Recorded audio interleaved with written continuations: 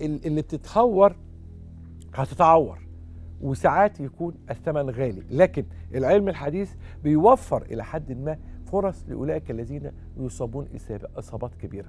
ال PRP هذا العالم المثير مع ضيفي العزيز. الحقيقة اليوم لقاء مهم جدا مع قمة علمية كبيرة واسم كبير وأنا بعتقد إن هذه واحدة من لقاءات القرن الواحد وعشرين.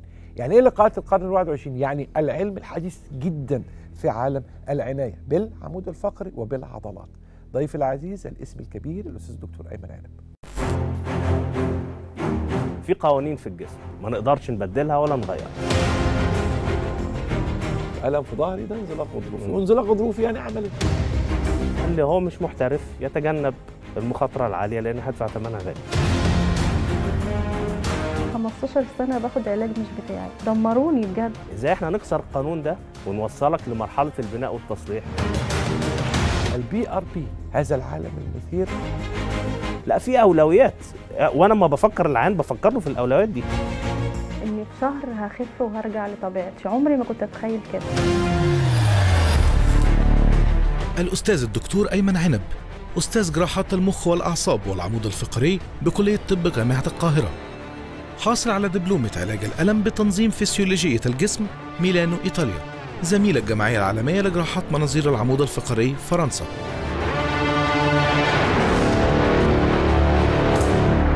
ضيفي العزيز الاسم الكبير الاستاذ الدكتور أيمن أهلا بيك يا دكتور أهلا. بيك دكتور. وحشني والله. وأنت كمان الله. الحقيقة النهارده عنواننا ال PRP يصلح ما لا يمكن إصلاحه صح كده؟ صح. وأنا دايما أنا بقى بقول الاسم الثاني للحلقة النهارده حلقة القرن. ال- العلاج للقرن القادم القرن الحالي والمستقبل. لكن عايز أبدأ الأول. إيه رأيك في اللي إحنا شفناه دلوقتي؟ آه طبعا الإنسان بنيته ضعيفة. زي ما حضرتك كنت قلت قبل كده في حلقات قبل كده إحنا ما عندناش حاجة تحمينا من بره. إحنا شوية لحم عضلات سهل يتكسر مفاصل كتيرة قوي بتتحرك سهل تتمزق. فأي إصابة بتنتج عنها كارثة. المحترفين وغيرهم يعني برضو من أسوأ رياضات الزحلقة على التلج السكينج ده. ده ليه مشاكل وكسر عمود فقري هو للأسف اللي بيتكسر أو بيبوظ في العمود الفقري أو في الجهاز العصبي ما بيرجعش تاني لغاية دلوقتي. يمكن قدام الدنيا تختلف إنما آه، كل واحد يتجنب المشاكل. هم محترفين فده آه، آه، وظيفته الرئيسية. فقدامها عواقب وساعات بتحصل وساعات لأ في نسبة مخاطرة عالية يعني. فمش كل الناس كده إنما اللي هو مش محترف يتجنب المخاطرة العالية لأن هدفع ثمنها غالي. اللي بيلع- بيلعبوا بالبتاعات الك- الكور الكبيرة دي. ساعات التهور بيس يعني بي- بيخليك تقعد طول عمرك تتعالج بمشكلة أنت كنت في غنى عنها. آه، بسبب رياضة بسبب هزار مع واحد. أنا جالي مرة عيان بيقول لي أنا آه، سواق تاكسي بهدلني ضرب فرملة فجأة وما خبطش في حاجة بس طلع قدام فجأة رقبته اتمزقت وعايش بقاله سنة بيتعالج بيها. بس عشان فرملة آه، تاكسي. يعني فانت عندك مشكلة إن سهل تتصاب. فخلي بالك. ده هيجرني للسؤال الأول. الالتهاب كلمة آه، رخمة وصعبة. بس أنا أول مرة النهارده وإحنا بنجهز الحلقة أعرف إن في أنواع التهابية. وأنواع ألم في العضلات والفقرات والمفاصل. في أنواع للالتهاب وللألم؟ ما هو ال- الالام بت- بتصاحب الالتهابات دايما. إنما آه، إحنا في عندنا نوعين من الالتهاب. في التهاب ممكن يشفيك وفي التهاب ممكن يموتك. يعني إيه؟ أنت دلوقتي عندك آه، العربية لما بتيجي تدورها لو البطارية كويسة مرة واحدة بتدور الموتور بيشتغل بتمشي صح؟ لو البطارية ما بتديش الفولت المناسب تقعد تدور كذا مرة لما تستهلك طاقة البطارية. الالتهاب المزمن ده التهاب بيدي مقدار معين من الالتهاب الجسم مش قادر يصلح معاه المشكلة. فبيقعد يستنفذ طاقة الجسم لفترة طويلة فبيدخل العيان في مشاكل تانية فده التهاب ممكن يموتك. آه الالتهاب الحاد ده التهاب بيوصلك لمستوى التصليح المناسب اللي بتخف معاه. فعشان كده المرضى المزمنين بيقول لك أنا بقالي عشر سنين بلف على الدكاترة وما قصرتش. هو معاه حق بس هو الجسم ما تصلحش ما تصلحش ليه؟ عشان ما وصلش للمستوى المعين إن يبدأ مع التصليح.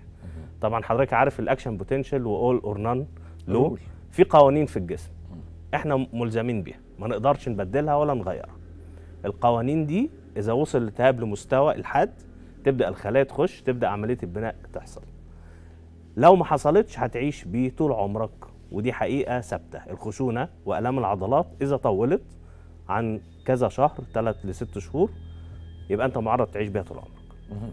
إزاي إحنا نكسر القانون ده ونحاول نمشي عكس الطبيعة ونوصلك لمرحلة البناء والتصليح بحقن الصفائح الدموية البلازما اللي هي اسمها ال PRP هنتكلم عنها بالتفصيل. آه، هل بقى هل آه، آه، ال- الحكاية دي يعني بتجيب نتائج ولا لأ؟ هل آه، في ناس كتير بتستعملها ولا لأ؟ إحنا عندنا قانون كوني إن الحاجة المفيدة بتفضل والحاجة اللي مش مفيدة بتختفي صح؟ يعني انت أكيد سمعت عن كذا صيحة في الطب طلعت واختفت أو كملت وكبرت وانتشرت. لأن يعني في آية آه، هنبدأ بيها بس. فأما الزبد فيذهب جفاء وأما ما ينفع الناس فيمكث في الأرض. فدي قانون كوني موجود. في خلال السنتين اللي فاتوا أنا سبحان الله لقيت كمية ناس بتشتغل بال PRP دكاترة آه، وجامعات دخلته ومستشفيات تبع آه، مراكز كبيرة منها الجيش دخلته. وبدأت تحقن بيه وبدأت النتائج تبقى هايلة. بيجي لي ناس من الأقاليم والمحافظات في مصر مختلفة بيقولوا إحنا حقنا وتحسنا أو كذا دكتور بدأ يحقن. الانتشار زاد ده دليل على النجاح الحمد لله. وإحنا عندنا كمية عيانين كتير جدا محتاجين تصليح مش تسكين. الآثار الجانبية للمسكنات عنيفة. ما عندناش بدايل للأسف. فهو إصلاح ما لا يمكن إصلاحه بدونه دي حقيقة. ما فيهاش تغيير. في mega stars وناس آه، رأس مالهم في جسمهم اتعالجوا بال PRP جاريث بيل نادال. النجوم الرياضيين. يعني جاريث بيل ده نموذج للعلاج بال PRP في في إصاباته كانت ممكن تطول فترات طويلة آه جدا طبعاً. وأثرها بال PRP صحيح. زي ما حضرتك بتقول برضو الإصابة في أولها الجسم بيبقى لسه مستعد إنه يتصلح. الإصابة آه، بعد فترة طويلة بتبقى مزمنة بتتكون كذا بؤرة ألم ما بتبقاش واحدة بس. ودي برضو فكرة العيان بالعملية اللي عنده غضروف اللي بقاله خمس سنين عنده غضروف زي اللي بقاله ست شهور. لا طبعا. اللي بقاله ست شهور ده هيشيله غضروف هيخف. اللي بقاله خمس سنين ده هيشيله غضروف هيخف 30% مين أشهر أماكن الألم؟ أشهر أماكن الألم هي هي أماكن ال- المفصلات هي مناطق الحركة. إيه أشهر مناطق الحركة عندنا؟ الرقبة زي دي كده. ده مفصل الفك طبعا من اللي على الشمال وده من أسوأ آه، مناطق الصداع عند المرضى. وبيفتكر دايما إن عنده العصب الخامس. آه، آه، ويطلع مفصل الفك. الرقبة مشكلتها كمان إنها بتعمل دوخة وبتعمل إحساس الترجيع والصداع المستمر. دي منطقة مفصلة انت دايما قاعد على الموبايل برقبتك قاعد موطي وانت بتكتب على المكتب. فدي منطقة مهمة جدا في الحركة. نص الظهر وآخر الظهر. لأن دي الثلاث مناطق اللي فيهم حركة. طبعا الرقبة وآخر الظهر هم نمرة واحد. آه، لأن نص الظهر ده فيه الفقرات الصدريه فإلى حد ما محجمة الحركة شوية فما بتتصابش كتير قوي. إنما آخر الظهر دي هي اللي بتنقل وزنك على رجلك. فدي دايما مفاصل الحوض اللي بتلخبط مع الديسك والام أسفل الظهر اللي بالعام بيقوم من النوم ظهره مش عارف يتحرك منه وساعات ممكن يقعد يومين ثلاثة في السرير مش عارف يتحرك بسبب نوبات الألم اللي بتروح وبتيجي مع الشتاء مع تغيير المواسم مع الشغل التقيل. فكل دي أماكن كتيرة جدا. طبعا ال- الكتف من كل ما بتشيل حاجة بإيدك تقيلة كتفك بيتمزق عضلات كتفك من ورا تفتكرها إنها فقرات. دي برضو من أشهر الأماكن بالذات في السيدات مناطق التندو أكيلس اللي هي بيسموها. العرقوب وتر ال- الرجل. وتر القدم آه. فدي وتر ال- العضلة ماسك هنا. بيلبسوا كعب عالي. كعب عالي بالظبط. هو ممكن كعب ده يعمل مشاكل جامدة. مفصل الصباع الصم اللي هو ال- الإبهام ده من أكتر أماكن الألم. وطبعا عضلة ال- السمانة اللي هي آه، هي طبعا اللي بتمشيك فدي عليها لود عالي جدا. فدي من أشهر أماكن الألم. دول آه، طيب هنا في سؤال مهم جدا. هو سؤال واعتقاد في نفس الوقت. المريض العربي والعالمي طالما الألم طول عنده وزاد لفترات طويلة بقاله سنين يعني هو نفسه بيبقى معتقد وبيجي لك بالجملة دي أنا بقالي سنين متألم ومتعايش مع الألم ده وبقى جزء من حياتي وعندي إحساس جوه إن هو عمره ما هيروح. مم. هل ال- الكلام ده علميا صح ولا غلط؟ كانت لسه عندي مريضة ست جميلة سيدة فاضلة فوق ال 60 آه بيجي لها ألام في ظهرها جامد جدا بقعدها 10 أيام في البيت ما اتحركش. قالت لي أنا ما عنديش للأسف رفاهية العجز. أنا ما أقدرش أقعد في السرير عندي واجبات كتير بقوم بيها. وأنا كنت معتقد إن هيجي لي يوم في الأيام إن ظهري هيخف. إزاي؟ أنا مش عارفه الست دي الحمد لله خفت خفت تماما. شفيت 100% وكل ما أشوفها بتقعد تدعي لي ست جميلة جدا. آه، هي تعتمد على إرادة المريض. المريض اللي عنده إرادة بيدور على حل وهيوصل له. ويمكن إحنا لو اتكلمنا على أنواع المرضى في مريض طبعا عنده طاقة آه، سلبية كتير وده دايما ماشي محبط وعنده آه، دايما تراكمات نفسية فدايما بيقول إن عمري ما هخف وهعيش كده. وفي مريض دايما عنده طاقة إيجابية بيدور على علاج مختلف ودايما هيلاقي حل وبيتعاون. ده مريض هايل. أنا هقف عند حتة مهمة جدا. والحقيقة أنت ليك آه، يعني آه، آه، زي ما بيقولوا الفضل الكبير في توضيح هذا الأمر بالنسبة للمجتمع الطبي لأنه الحكاية دي كانت عاملة مشكلة كبيرة. الأشعة. العيان بيروح يعمل الإنسان بيروح يعمل أشعة طبقا للأشعة أنت محتاج واو عملية انت مم. كارثة انت إزاي ماشي على رجليك صح، الأشعة بتوريك صح. أنا بشوف ناس صحابي كده جايبين اشعات تيجي تشوف الأشعة مخيفة مم. وراجل ماشي وبيلعب آه بيتحرك عادي مفيش أي. مشكلة خالص فهنا نقف شوية قدام الحكاية دي مم. هل نحن في المجتمع الطبي نعالج أشعة أم نعالج أعراض وكيف نميز بين الاثنين الحتة دي قضية مهمة جدا آه جدا آه مم. لا إحنا طبعا إحنا بنعالج مريض بالأعراض مم. أنا يعني ساعات بيجي لي عيانين كتير وبنقعد أول حاجة بقول له شكوتك إيه؟ أشوف الاشعاعات أبدأ أتخض وأقول له غالبا دي عملية. أكشف عليه أقول له لا انسى اللي أنا قلته خالص. انت مالكش عملية. واي حد يقول لك عملية تسيبه وتمشي على طول. ليه بقى؟ لأن إحنا آه الأشعة آه إنها ديسك أو غضروف أو مش غضروف الغضروف ده مش مؤذي مش سرطان يعني.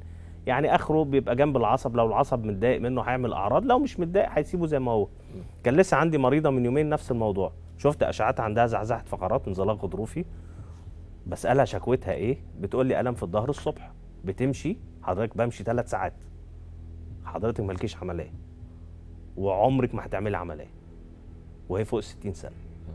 ألمها حتت تاني.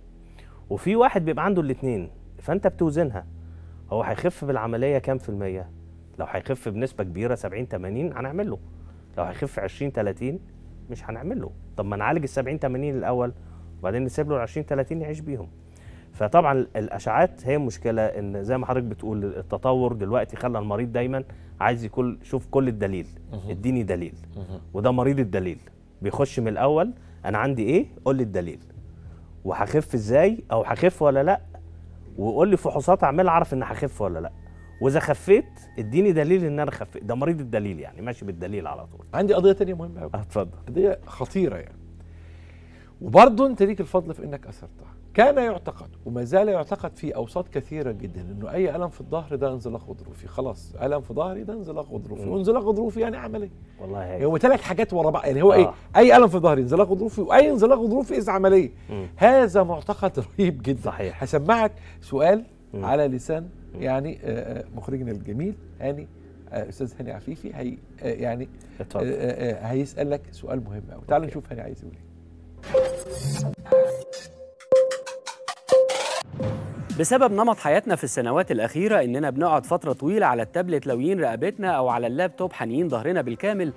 والعادات الغلط في المذاكرة على السرير وشيل شنطة المدرسة التقيلة وإحنا صغيرين ومع قلة الرياضة وعدم الاعتماد على المشي. انتشرت أوجاع الظهر بشكل غير مسبوق وانتشر معاها مفهوم الانزلاق الغضروفي. المريض بيحس بآلام متوسطة أو شديدة بتنتشر في أسفل الظهر وفي الساق وفي القدم وبيحس بالخدر والتنميل وضعف العضلات وصعوبة في القيام بالحركة زي الوقوف أو المشي. الأعراض دي كلها ممكن تكون شائعة وبسبب الإرهاق النفسي أو البدني اللي بتفرضه علينا حياة المدنية. إزاي بقى نعرف إن ده انزلاق غضروفي ولازم نتوجه للدكتور فوراً؟ وإيه هو علاج الانزلاق الغضروفي؟ لأنه في ناس كتير بتفتي وده ممكن يخلي الحالة أسوأ. صح معاك حق. هذا السؤال مهم جدا. طيب نبدأ الأول. الغضروف بيعمل ألام في الساق وليس في الظهر. في اي ألام في الظهر؟ ده مش غضروف. اتفقنا؟ ده خشونة. ممكن يبقى معاه خشونة إنما ألام الظهر بس ده خشونة حتى لو في غضروف في الأشعة على فكرة. مالكش عملية. اللي بعده آلام الساق. آلام الساق اللي هي آلام عرق النسا لازم أما نرفع رجله ما يقدرش يرفعها أكتر من 20 30 درجة لازم يمشي يقعد في الطريق من المشي آه بعد خمس ل 10 دقائق لا معاه تنميل ويكون الغضروف في الأشعة مقنع. لا يعني لازم كذا حاجة مع بعض. ساعات ناس بتجيلي أشعتها نورمال وتبص على رجله تلاقيه برضه نفس الأعراض. آه مش عارف يمشي آه رجله بتوجعه. دي عضلات بقى. فهو لازم يبقوا متركبين مع بعض. طبعا المريض مش هيقدر يوصل لوحده للتشخيص بس أي حد هيقول لك عملية لازم تاخد رأي اتنين تلاتة كمان. ما ينفعش تخش على طول على عمليات الحق نفسك البول هيسبقك العين طبعا بيسمع البول هيسبقك ده بينهار. لا هو ما فيش غضروف بيعمل كده إلا واحد في المية من الحالات لما يكون جاي أصلا على الكرسي بعجل. فما فيش القصة دي. معظم الناس بتخف. يعني أنا عندي ناس في الاستشارة خلاص بيكون اختفى الغضروف أو هو اتحسن. والراجل بقى كويس وبقول له خلاص قفلنا قصة العملية. فيعني معظم الناس بتخف الغضروف ده مش مرعب. واللي هيبقى عنده بس ال- الأعراض دي لوحدها اللي هي آلام عرق النسا لو وصلنا العملية هيخف بسرعة قوي ودي برضو المرضى اللي بنختارها. يعني أنا لو عملت 10 عيانين مثلا عمليات هلاقي ثلاثة منهم خفوا كويس جدا وما سمعتش أخبارهم تاني وفك الغرز في البيت حتى. وهلاقي ال- السبعة التانيين خمسة منهم هيجوا يقولوا لي آه، ظهرنا وجعنا لسه ما خفناش قوي أعالجهم بقى سواء بال PRP أو بعلاج تاني يتحسنوا برضو ويوصلوا له كويس. هيتبقى اتنين بقى قاعدين كده دايما ما بيتحسنوش. فالعملية نتائجها مش زي الناس فاكرة إن أنا هخرج سليم أخرج آه، أرجع لشغلي بسرعة. لأ في حالات وحالات. اختيار المريض ده مهم جدا. الإفراط في في على طول عمليات معظم النتائج بتبقى وحشة. أنت بتبوظ حياته مدى الحياة. يعني واحد أنت دخلته في الام زيادة وفضل طول عمره يتعالج بيها ما كانش محتاجها. أو دخلته في تشخيص غلط وسبت التشخيص الرئيسي زي اللي عندهم تليف عضلي. بيجي لي ناس كتير قوي عندها تليف عضلي عاملة عملية. فايبروميالجيا آه وغضروف صغير جدا وعمل عملية. برضو المشكلة برضو للأسف في- أطباء الأشعة بيكتب انزلاق غضروفي 3 و4 4 5 5 أقول وكلهم نتوءات لا تزيد عن 1 ملي ما يسماش غضروف. تشوف بقى الأشعة اللي مثلا تقرير جاي من بره حد عايش في أمريكا ولا حاجة يكتب لك جنبها non significant ملوش أي دليل دلالة كلينيكيه نان سيجنيفيكانس يعني باللغة البسيطة بتاعتنا مش مهم. مش مهم. حاجة لا تذكر. آه هو ما يقدرش ينكره لا تذكر. وما يقدرش يخضك بيه. آه. آه إنما هو يقول لك في غضروف إنما مش مهم. آه، بس يعني آه، آه، فلازم العيان يبقى عارف إيه المهم وإيه اللي مش مهم. طبعا إحنا يعني فقدنا الأولويات ما عندناش فقه الأولويات في لا في حياتنا ولا في تفكيرنا ولا في شغلنا. يعني غضروف صغير زي غضروف كبير آه، ما بتعرفش تمشي زي بتعرف تمشي. لا في أولويات. آه، وأنا لما بفكر العيان بفكر له في الأولويات دي. إيه اللي هيفيدك؟ آه، أنا هطلعك من عملية كويس ولا ملوش لازمة؟ أقدر أجنبك قد إيه عملية كام في المية؟ بطرق مختلفة آمنة. ال PRP يمكن أحسنهم أو هو الوحيد تقريبا. يعني الحمد لله أنا معالج ناس كتيرة جدا هنشوف أشعاتها يمكن. آه، منهم كانوا يعني لعيبة كورة وناس كتيرة رجعوا يشتغلوا تاني ويلعبوا. وكانوا بعد العملية ما كانش عارف يلعب على فكرة. وده كان عنده غضروف ومحتاج جراحة. وناس تانية كانت بتمشي خطوتين بتقعد في الطريق. الحمد لله اتحسنت.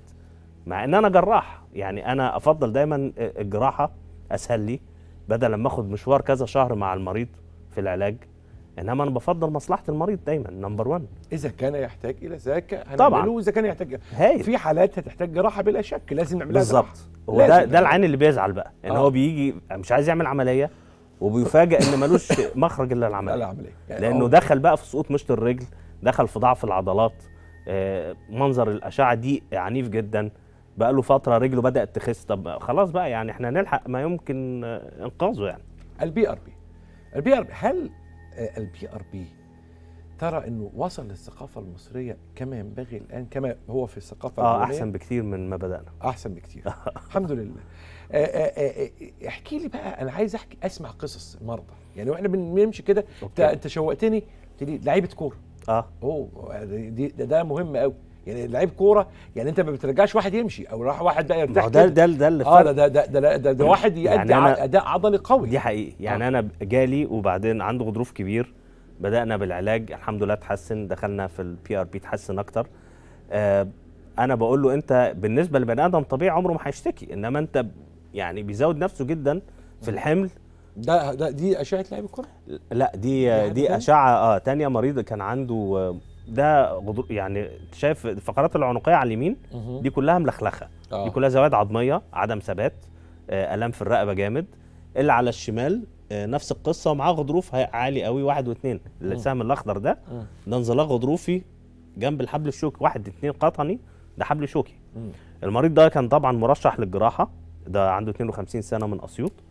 وعنده آه، كان مشكلته المشي ما بيعرفش يمشي خمس دقايق ويقعد في الطريق. برضه هو خايف من الجراحة. بدأنا بالحقن. الحمد لله هي جلسة واحدة خف 70% بيمشي كويس جدا. الكلام ده من سنة ومن ساعتها لغاية دلوقتي زي الفل. آه دي حالة نمرة اتنين. دي سيدة آه من الفيوم عندها 62 سنة. عندها آلام كانت آه، بسبب ضيق القناة العصبية. لو حضرتك هتبص على اليمين هتلاقي العلامة الخضراء دي قناة عصبية ضيقة. العلامة الزرقاء قناة عصبية واسعة. باين الفرق بتهيألي آه طبعا باين. يعني آه. بالظبط. الضيق ده نتيجة الخشونة والزوائد العظميه من المفاصل. فدي كانت عندها الام في عرق النسف في الساق اليمنى اتحسنت برضو الحمد لله 90% 90% و70 وكده دي أرقام من بق العيان. أنا بقول له دي نفسك رقم يقول لي. فالحمد لله جلسة واحدة برضو اتحسنت ما كملناش. ده غضروف قطني اللي برضو العلامة الخضراء دي خارج ده 4 5 وجاي على هتلاقي حتة على العصب الشمال شايف العصب الأبيض؟ ال- اليمين اللي هي عليه النقط الحمراء ده مخرج العصب. أه. فحتة الغضروف السوداء دي جاية قافلة عليه. ده عنده عرق النسا. ألم شديد جدا. ألم شديد جدا. ده آه، آه، مريض برضو آه، عنده 55 سنة ومشكلته إنه عنده آلام عرق النسا في الناحية اليمين. وكان مرشح لجراحة والحمد لله اتحسن آه، بعد حوالي 3 ل 4 جلسات. يعني وصلنا لنتائج آه، 70 80% ال- الحقن الموضعي هنا يعني في أماكن بقى عضلات بتحتاج لحقن مباشر فيها صح, صح. كده؟ صحيح. آه. وخصوصا إنه في ناس دلوقتي بقت عندها الشكوى العضلية كبيرة قوي بص تلاقي خصوصا اللي بيتمرنوا في الجيم ستات البيوت. آه البنات عاداتهم الغلط تلاقي حتة في الرقبة دي بتموت آه صحيح. وبعدين طبعا أنت عارف في نصابين دلوقتي عاملين بقى يقول لك اللزقه.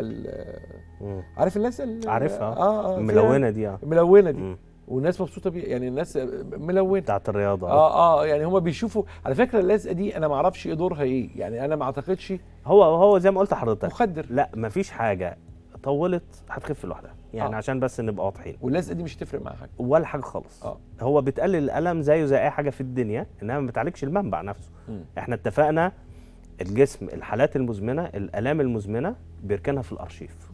ما تطلعش من الأرشيف تاني. هتقعد طول عمرك في الأرشيف مش هيطلعها تاني إلا الالتهاب الحاد. اللي بيحصل نتيجة المواد التحفيزية اللي جوه الصفائح الدموية تبدأ تنبه الجسم إن الإصابة لسه حاصلة يبدأ يشتغل عليها يصلحها يرجعها زي الأول.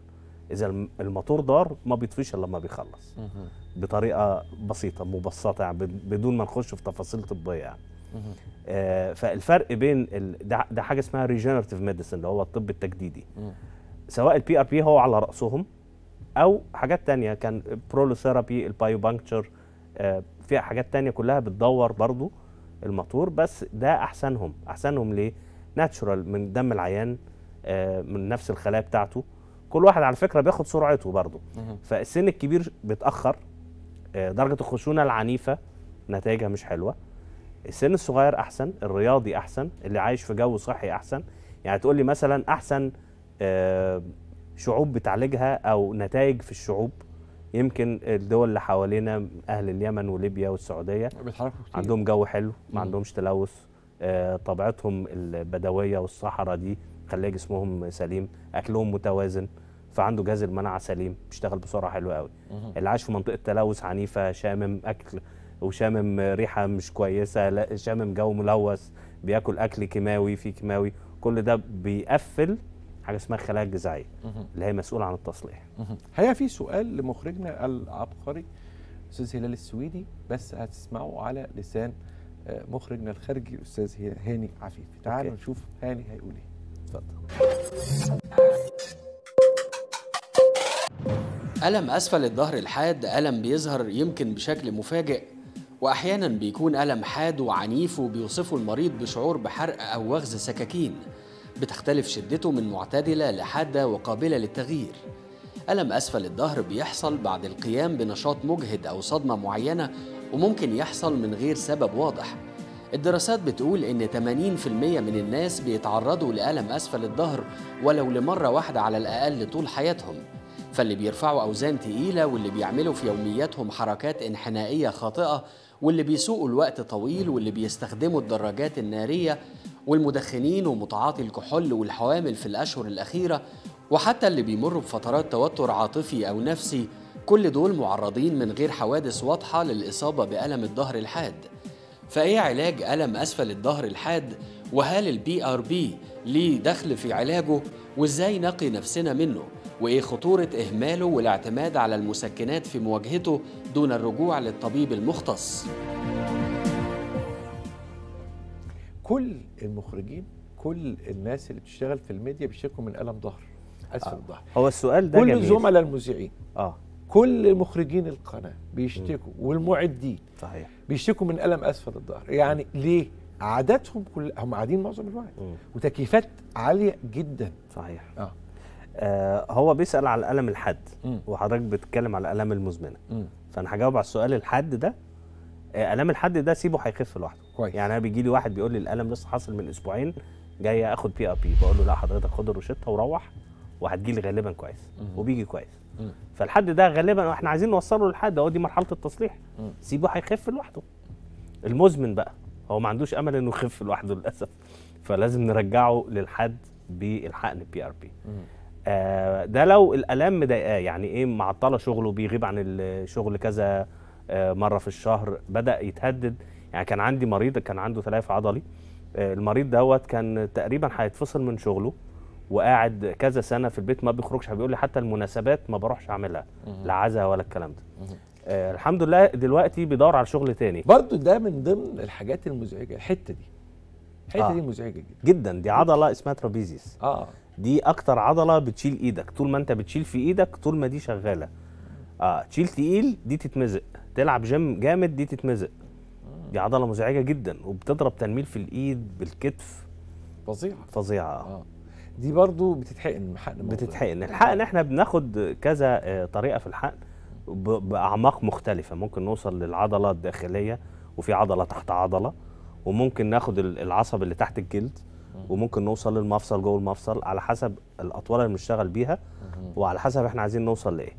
آه، في الآخر طبعا إحنا بنشتغل حاجة اسمها ساعات segmental segmental يعني منطقة معينة بتتحقن بطريقة معينة بحيث تتفرش وكلهم يوصلوا للتركيز الداخلي للعضلة. ليها طبعا آه، ال- الحقن تركيزات معينة علشان ساعات الزيادة في التركيز بيقلب بالعكس. وساعات برضو التركيزات القليلة ما بتديش النتائج الكويسة. فكل واحد ليه ال- المناطق بتاعته بال- بالكمية بتاعته. دي طبعا الأنكل بالأربطة بتاعتها من أسوأ الأماكن. آه، كان خنقة العصب برضو من أحسن الحاجات اللي بتخف ما ما بقتش أعمل عمليات تسليك عصب دلوقتي بقالي كذا سنة بسبب كل الناس بتخف بالحقن من يعتقد أنه يائس أو لا أمل. آه. ده آه، الم مزمن بقاله سنين. نقول له إيه؟ آه، طبعا إن شاء الله في أمل. آه، بس برضو أنا بقول للعيان مش هناخد أمال عنيفة علشان ما نخبطش في السقف. كل واحد ليه الأمل بتاعه والمقدرة بتاعته. يعني اللي عنده 70 80 سنة مش زي اللي عنده 20 30 سنة. اللي جاي في درجة خشونة خمسة مش زي الواحد واثنين فكله برضه إنما دايما في أمل إن شاء الله. من؟ إذا قدم اليه أي حد يقول له يلا اوضه عمليات يلا نعمل عملية. لا أي حد. لا لا طبعا مفيش حاجة اسمها القرار السريع ده. قرار السريع ده ابدا وخصوصا في العمود الفقري ما عندناش الطوارئ دي. يعني مش عين داخل في غيبوبة ولا ورم في المخ. لا لازم التأني لازم أديله فرصته. إذا استنفذ كل الفرص أو في أعراض مخيفة هقول له. وبرده مفيش يلا بكرة دي. يعني أي حد يقول له كده يسيبه ويمشي ياخد رأي تاني وتالت. ما مفيش أصل كل واحد للأسف مش هيغير رأيه. فأنت شوف حد تاني يقدر يفيدك بطريقة تانية بس. إذا كان الأمر فعلا PRP وعلم حديث ينبغي أن تفهموه جيدا. العلم العلم الحديث في هذا المجال أعتقد إنه فتوحاته هتبقى كبيرة جدا في المستقبل القريب جدا والحاضر طبعا. انت نورتني واسعدتني. وكان حوارا ممتعا كالعادة. ضيفي العزيز القيمه العلمية الكبير الأستاذ الدكتور أيمن عنب. كان ضيفي في الدكتور. ال PRP كيف يعمل؟ هذا ما سنترككم معه ونذهب إلى آه يعني نكمل الشاي بتاعنا. مش كده ولا إيه. خلي بالكم من ظهركم. وأوعى من البتاعة الكبيرة الكورة الكبيرة دي. أوعى منها. خطر جدا جدا جدا. خلوه دايما مع دكتور.